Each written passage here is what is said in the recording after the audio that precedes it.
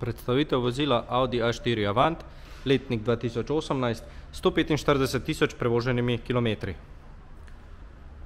Blažilnik in vzmet zadaj levo v odličnem tehničnem stanju, kot tudi zadaj desno, vzmet in blažilnik v odličnem tehničnem stanju.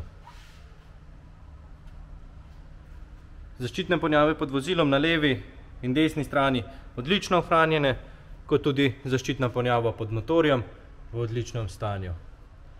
Manšeta, blažilnik in vzmet ter ostale komponente spredaj levo odlično ohranjene, kot tudi spredaj desno, manšeta, blažilnik in vzmet ter ostale komponente v odličnem stanju.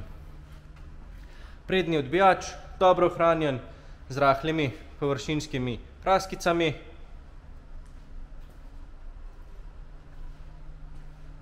Pnevmatika in platišče spredaj desno v odličnem stanju.